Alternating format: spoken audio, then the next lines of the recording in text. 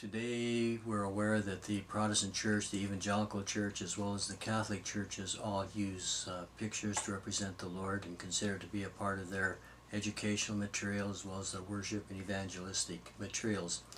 So we also increasingly are becoming to, coming to understand that the early church did not use them and, and that the uh, early reformers, the early Protestant church did not use these pictures and consider them to be idolatrous. So how has the Protestant church changed so that we have the modern situation? I think we can identify several factors. Of course, one would be the Roman Catholic influence because they've always insisted that we need to have these images, these pictures. They use them in their worship and, and so on.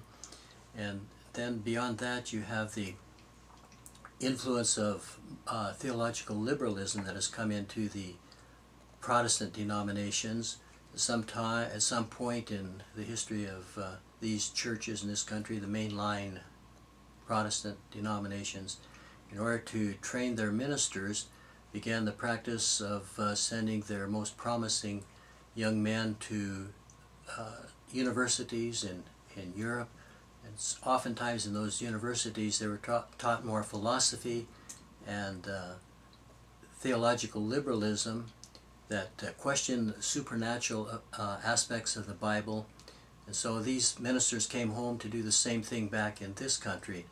And before too long they became the leaders of the denominations and they became the became the uh, professors of theology in their seminaries. They became the leaders of the publishing houses, uh, preparing the curriculum for the churches. And of course, as leaders of the churches, they would appoint the ministers to the local churches. So this theological liberalism had a, uh, has had a profound influence upon the church in, in this country. In resistance to this, those who are conservative and believed uh, the authority of the Bible began to separate themselves from these churches and from these seminaries.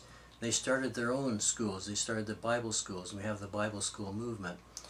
In the Bible school movement, one of the things that has had a great influence on the conservative part of the church has been the dispensational teaching that uh, became very popular in some of the leading Bible schools.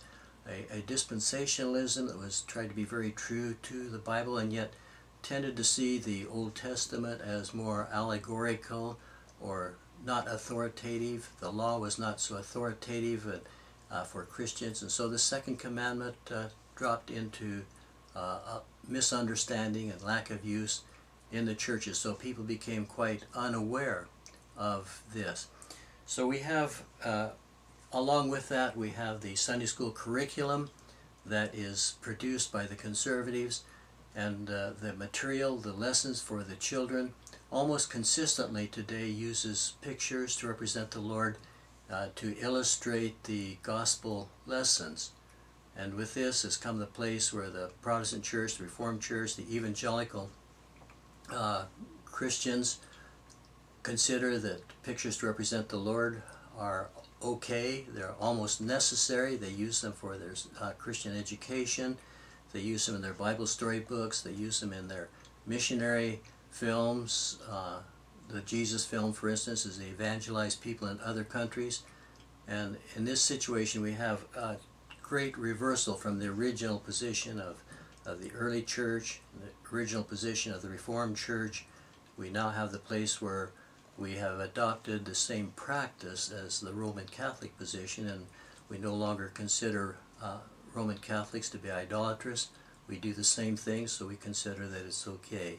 There's a real uh, need to examine this, to study this, and to apply the need, the uh, teaching of the Bible about who Christ is and about uh, the fact that God cannot uh, be imaged.